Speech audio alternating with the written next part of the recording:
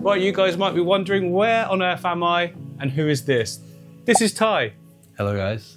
Tai is an expert in, uh, should, we, should we say biotopes? Biotope style. Yeah, and maybe freshwater habitats. Yes. So Tai's been all over the world, haven't you? Under the water, literally with like special cameras, photographing it, filming it, documenting it. You, you know about it. You know how to do it. It knows how to replicate it.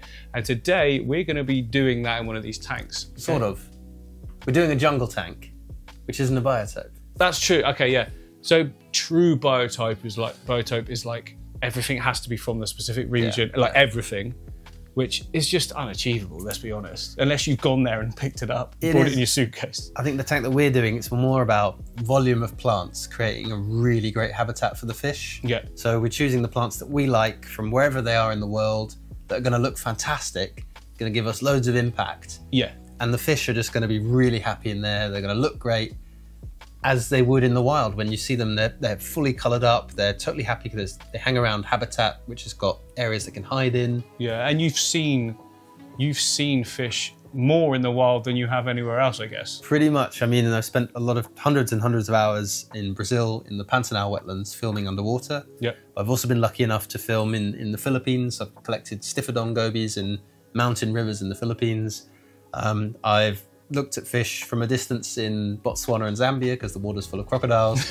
um, I've explored, hello, uh, reefs and mangrove systems in Australia. I don't know if you saw that. The cat's coming. Yeah, it's my, it's my little Brazilian cat. She's kind of she wants to be involved. yeah. Um, and I've explored habitats in Costa Rica and Colombia and Peru in the Peruvian Amazon as well. So Okay, so I'll be popping all of this up over the top so you guys can see it all. But you know, you, you but you do spec you do know about creating those biotopes, and you you actually releasing a book in 2031, aren't you? it feels like apparently It's it com- coming, it's apparently coming. it comes out late late summer this year. Uh, aquatic habitats, aquariums inspired by nature, Yep. um, which I've done with my Tell them how many setups you did. did 96 displays, but 62 have gone into the book. I did that with my friend and colleague Jane, uh, George Farmer. Yep. and it's biotopes from all around the world. But it's not just a step-by-step book; it's also loads of information about the habitat, Yes. the natural, but also the social history. So I have to see what the editor lets me keep. But I've got all sorts of stories about the people that live in those places, the way that the environment operates, the kind of habitat, the way that the fishes use that habitat. Yeah. And then you've got that information for when you want to create your own world in Yeah. this glass box. Yeah, And you've got the greater context for it. Which is like like you're saying, like we're not doing a biotope, but but uh, Tai style is a lot more a lot more simple hardscape. It's actually very beginner friendly, isn't it?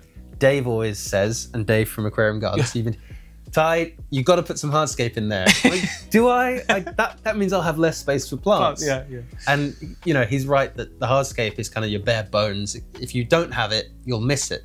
Doesn't matter if it gets covered in plants. Mm, no, I see what you mean. But I do try and go plant heavy, partly because I believe that's a, a real formula for success with a planted tank. yeah, yeah, yeah. plant That's what I always mass say that. I always reduces say that. algae. Yeah, start with start with a lot as well. but also because you know when I've explored habitats, the kind of small fishes that most of us keep in the aquariums, where do they hang out? In the cover, in amongst the plants. They look great. They're really coloured up. They feel secure. like a few rocks and a few twigs coming up, and then Yeah, yeah, more you like know, that style. Something I typically see is like an entire fallen tree, just fallen into the river, and then over time the current has pushed substrate up against this tree. Oh, okay. That creates a deep bed that also contains kind of organic material, detritus, and because there's this deep bed, plants can establish themselves in it. so it's like own little island paradise yeah, like under a, the a river. bank of, of Literally what we create as yeah, well. Yeah, exactly. And that's where you'll go and find those small, you know, the open water. They're often not hanging out there because there's too many predators. You go into the plants, you start seeing these little fish kind of through the Yeah, plants yeah, and looking at you. And I'm looking at the fish now, and they're doing exactly what you just said. Yeah, they feel secure, you know. Um, and I, I've got a real, you know, I know a lot about fish, but I have a real passion for the plants. yes, uh, we've got some rare ones here. Yeah, we'll, well. we'll show some of those. But Yeah. I think I love, you know, you come down every day, maybe there's a new leaf, a new stem, there's a flower. There's always something to Mm. I think that's I think that's it. why I like plant tanks as well because they're changing regularly. Yeah. Like, I've got a saltwater which I enjoy. Yeah. But there's there's nothing changing day to day. It's much more slow. The evolution It- is yeah yeah. slower pace. No, and I think you know the the this whole thing about biophilia. You know, get out into nature, try and surround yourself with green space. We can't all do that. Certainly not all the time. Hmm. But if you can bring some of that greenery and that life into your home, even in a small tank, I am Hmm. Yeah. sure that does you a world of good. Yeah, I mean, I don't think of it that way. I, I think it more just is fun. But, too. but it's probably That too. happening without me, you know, Yeah, focusing on that specific. uh, What was the word you said? I've got biophilia. Biophilia, okay. But I, I think I think that's it. You're doing it because it's fun. There's all these other benefits that come with it. There's also the reward of you know you get to play God. You create, yeah, you it's, create it's this the world in- Sims in Yeah. fish tanks. But unlike The Sims, you know, if you give it your all and you love the fish and the plants, they will really do better. They'll Mm, yeah, have course, better yeah. better quality of life. They'll look better. That's that's why I only keep fish I like, not what YouTube would do well with. Do you know okay, what I mean? okay. So you really go for what you want. yeah, because if I have something there that I'm not that into, but I know will do well, Yeah. then how long before I'm going to be like, oh, I'm just going to let the tank go? If you're not passionate about it, you can't no do it. point. It's impossible. No. It's impossible. I think all, all the fish and plants that I've got are really things that I I Hmm. want, Yeah, and or I'm I'm trying to learn something about them because I haven't kept them before. yeah, But I do it for the love of it, and and because as you say, it's fun. yeah. So, and that's what we'll be doing. We'll be doing a fun project today. Yes. We'll get started in a second. Let me let me show you all these tanks. Sure. Wow. Look at Plantville. That looks so cool. So this is a traditional, if you like, jungle tank. Yes. And for me, the best jungle tank ever done was done by George Farmer years ago, and he put it into Practical Fish Keeping magazine. I f- fell in love with it instantly, and it really defined my my style, my philosophy on this, which is tons of tons of plants, loads of cool textures, make an amazing habitat for the fish. I have to say, like, you know, George, to be fair, was literally that and Green Machine, but Green Machine to me felt, for those who don't know, it's like full CO2, ADA in the Yeah, UK, we- should we say. Yeah, yeah. And it felt a little bit unachievable, but some of the stuff I was seeing George do, you know, with his crips and with his simple stuff, is what Yeah. actually got me into giving it a go. Yeah. it- You know, back then, which was like five years ago, four years ago, whenever I searched planted tank, it came up because, you know, there wasn't a huge amount going on. No, he's he's been fundamental to many elements of the hobby, I think, and. Uh, And then, and then a few months later, it was in my shed. well, there you go. How things happen. Yeah, and this so what we've got some cool Colombian tetras here, Yeah. still juveniles. That's a good size one. So we've got um, the Colombians. We've got these guys, which are a bycatch. So I don't actually know what they are, but they look similar to the Colombians. I've kept them together, and they seem to be quite happy. I've got penguin tetras, which are always a you know firm favourite, but this is actually the first time I've ever kept them. Okay. And the reason I got them is because I got these really rare fish. They're called Pyrrhulina Oh, yeah. australis, and this is a species I've spent a lot of time studying Are they in? Brazil. They're um they're related to the sort of splash tetra group. Okay. oh, okay. And I, I spent hours and hours watching them in Brazil, filming them, and I got them, and they're super feisty and aggressive. and they were bullying anyone who goes up near the top. Penguin tetras are quite feisty themselves. Yeah. So I put them in, and actually they've all evened out because they can't bully each other. Right. Yeah. A bit like when you overstock uh, cichlids. Yeah. So they're, they've chilled, which is great. Another classic, neon tetras. Yeah. Which is was that an apistogramma? Just Yeah. okay. So there's Apistogramma uh, McMasteri, and Yeah. sadly, two weeks ago, I lost my male, which was a stunning, massive fish. And I think it was just old. Right. I've still got the female. So I went to Ely Aquatics and Reptiles, who really helped me with loads of fish. And Joe there, she gave me a new male. So he's gone in and he's super shy. So you might see him fly past. That might have been the one because it was very coloured up, or is the female coloured up as well? She's really coloured up. Oh, okay. There's also some uh, rainbow emperor tetras, and if they might come out if I very quickly drop some food in, we'll get an absolute feeding frenzy going. We'll just drop a few different pellet and granule foods, and you can see it's like piranha. Oh, bumblebee goby. Yeah. That's um uh, Pandagara. Pandagara. Sorry. Yeah, I, I- always get them confused. I know when you see them, you're like, oh, it's a massive. Yeah. Um, I, yeah. I know that it's Pandagara. Silly of me. there's I used to um, look after Colombian tetras when I worked at London Zoo in the aquarium, and that kind of gave me a real love for them. And Yeah, I keep I love coming them. Back love to them as them, well. and so here they are. I had a group like no, a bit bigger than this, and uh, with tons of fish. I had an Amazon tank, and they were huge. They get big. bright orange top, and then all of a sudden there was babies as well. So Oh, even in, even in a high stocking, they still did well. But Tai, people are gonna be interested, I reckon. Anyway, I Yeah. was, what is this? What is this lily? This is Nymphaea gardneriana. It's a, a lily from principally from Brazil, and it's a carpeting lily. So it produces little runner plants, Yep. and they pop up. Um, and it's super super rare. You can't really get it anywhere anymore. But I'm I'm working on bringing it into the UK hobby, so it will be more available to people Yeah, yeah. because it's a great plant. And um, as I showed you earlier, under high light it goes bright red, really deep pink. Low light goes green, but it's a beautiful plant. And You're going to have to let me steal some. well, that is on the cards. Don't worry, Yes. that's on the cards. And also, I just want to point out look, this isn't some fancy rimless tank or anything. No. This is the Aquatropic 160, which is a, a Maidenhead tank, Yeah. and really kindly sponsored to me by Maidenhead Aquatics at Woodbridge. And the only thing I've done to upgrade it, Yeah. there's some twin star lights in here. These are old version ones, the E model, I think. Uh, Dave at Aquarium Gardens, sort of getting rid of them, let me have them. And so that's really helped my plant growth. I run CO2 on here, but not at a crazy amount. Yeah. And I'm using tropical soil, and it, it works. Works brilliantly. Charm. Looks great. Cool. Let's have a look at the. So let's go to the left. Yeah, In case you're wondering, we are in Tai's garage. yeah. my creative space. Yeah. Uh, but oh, let me. Oh, got to adjust the lighting on this one. Okay, so this is this is what I was talking about with uh, you know sort of less hardscape. This Yeah. literally looks like some chunks of wood have fallen into the river, and like you say, it's created an area for life to sort of flourish.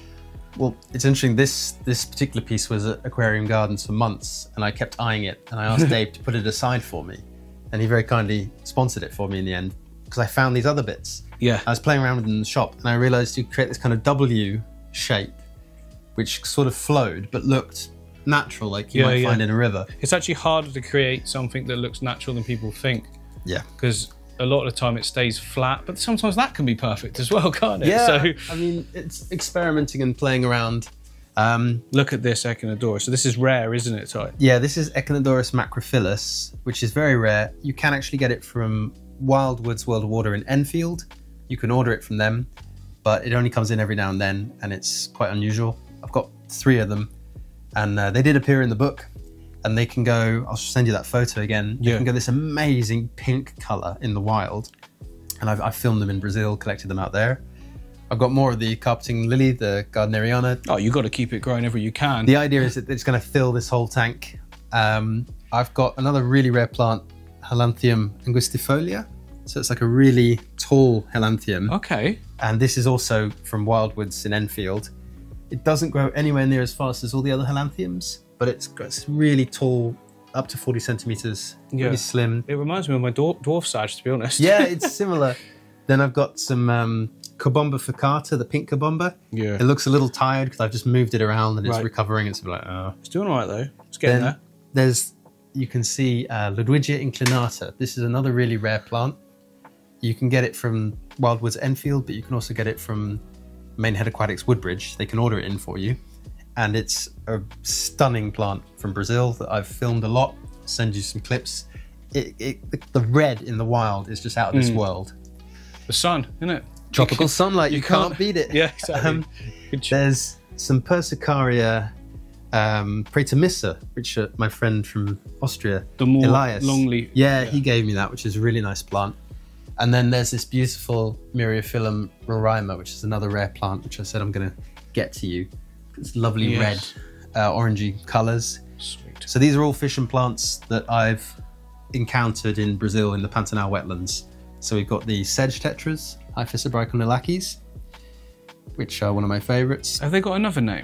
Um, they're often mislabeled as kitty tetra. I think I might They're be. not yeah. kitty Okay. tetras. Um, there's some Rathbun's tetras with the, the green and the orange or red belly. Yep. That's Then- cool. That's cool. There are black neons in here, Yeah. uh, which you know, firm favourite. Another fish I've spent a lot of time studying in the wild. It's a bunch of Otocinclus. Yep. There's a pair of Apistogramma trifasciata. Which we won't see. No, that'll be around at some point. Yeah. That's another species I've, I've filmed in the wild. And then Apistogramma borelli, which I've also collected.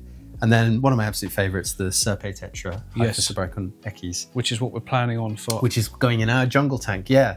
Um, yeah. uh, Well, let's uh, let's come over to this area so we Yeah. can. Okay. So this is this is proper jungle style, isn't it? It will grow in more. yeah, this is, I'm trying to experiment more, more with stems. And as eventually you won't see any of that black background. Yeah. But I just wanted loads of textures, lots going on, lots of quite vivid and yet soft textures to it. Is there hardscape? There is hardscape.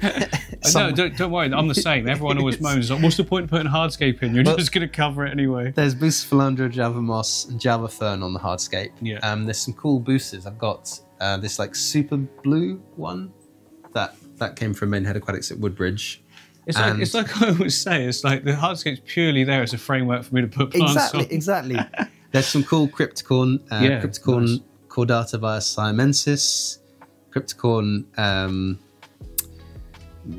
Maiden Rosen or Rosen Maiden, which is really cool. Then Great textures. It's so varied. Yeah. So varied. I, just- love that. I just wanted to fill it with soft, fluffy stuff, yeah. but the, the fish would feel happy in there. So there's um, green cabomba in there. There's Myriophyllum sp Guyana. yeah Limnophila look from the top. It's quite cool from the top. I love that angle because you've got like double Yeah, double view. and then oh, we um, should say, oh, look, ADA light So yeah, Whoa. this is my. I, I got indulgence. I got this at trade, so that's how I managed to get hold of that one. I've got a I've got three ADA lights. That's the only one that's a big one. They're smart. I like them. They, Well- they look really good. Um, You know what? I've got my Chihiros uh, lighting. These are the Vivid twos. twos, yeah. These are from Riverwood Aquatics. Really kindly, Pete there. He sponsored me one of them. Okay. I love the lighting that they do. I think it's great, and Yeah. because you can fiddle and change. Yes, yeah. There's lots you can do.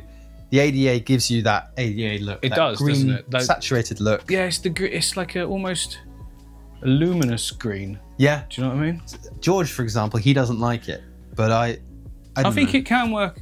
It depends what you're doing. Like Yeah. I think I think you put the ADA light on what you're going for here, and it ruins it. Yeah, you'll only get green. But it works well for this style of the tank.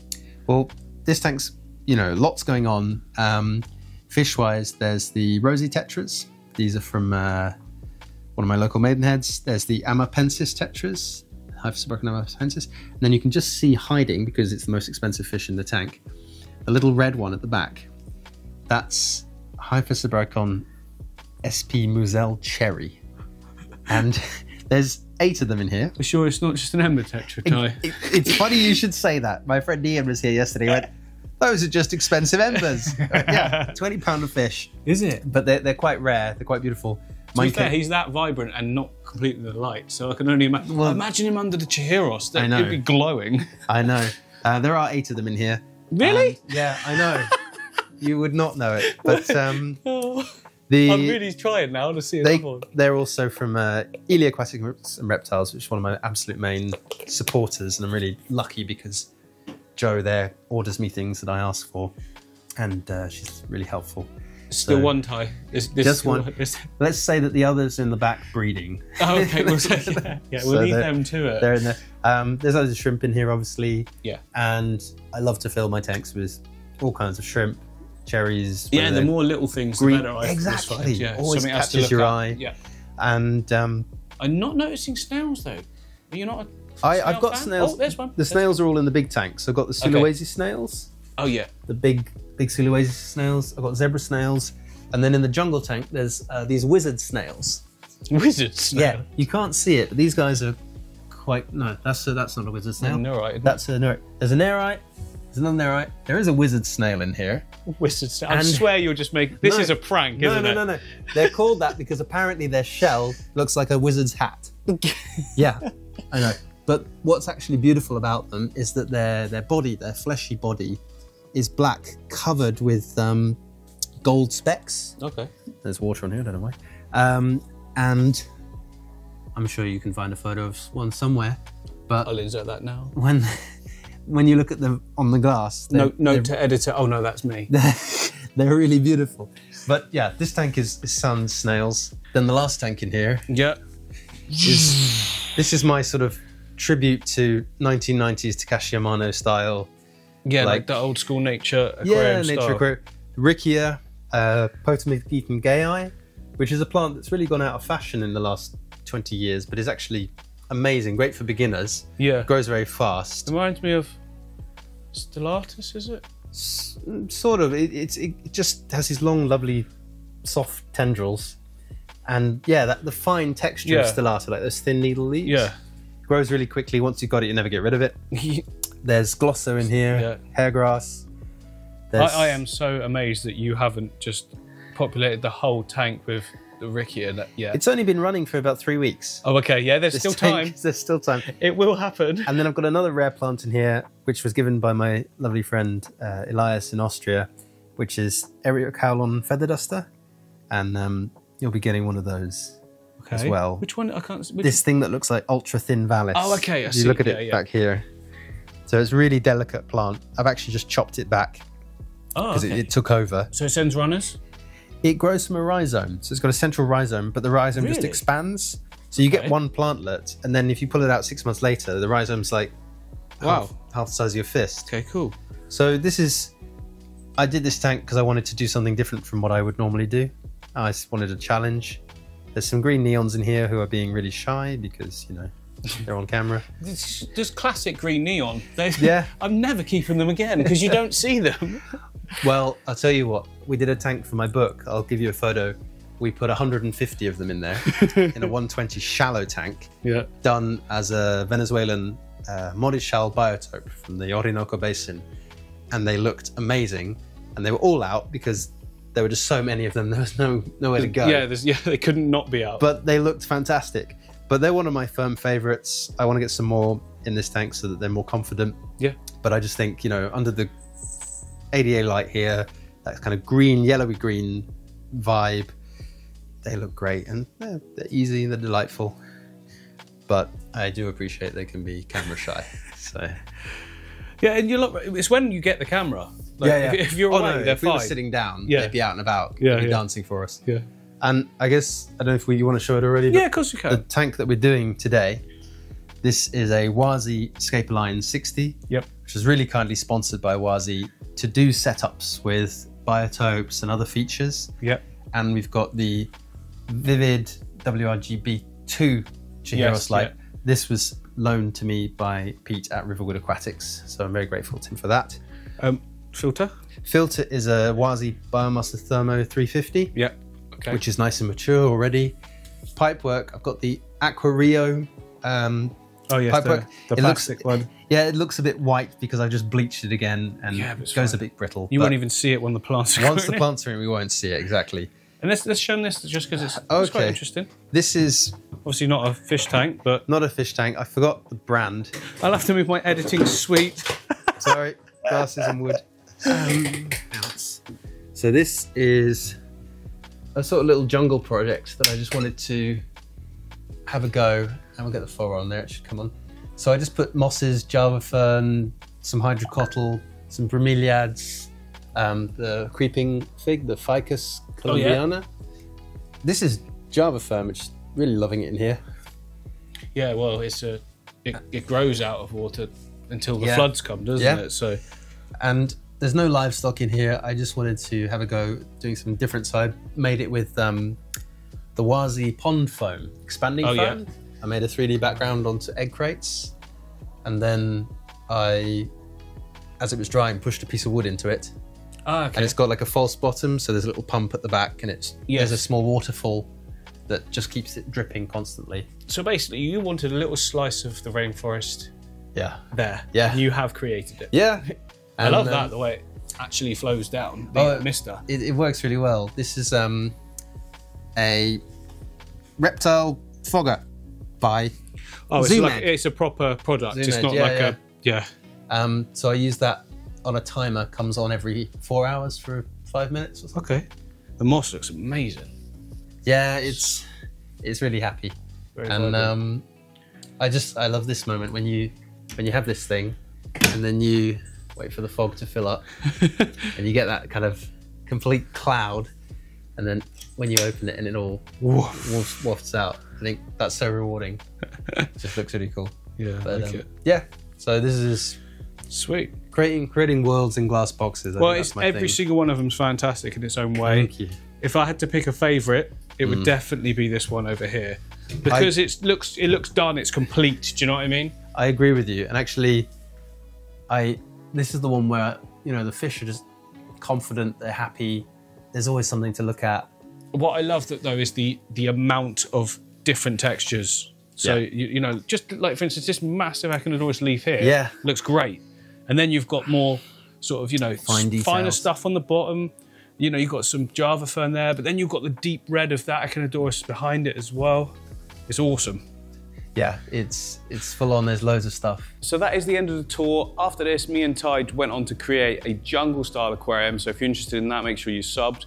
And also, if you're interested in like natural style aquariums, but also fish in the wild and interesting stories, you can take a look at Tai's channel as well. I'll leave a link in the description, Biotopia. I've been watching it for years, to be honest. I even told Tai that I'd messaged him quite a few years ago and uh, he didn't see it, but never mind.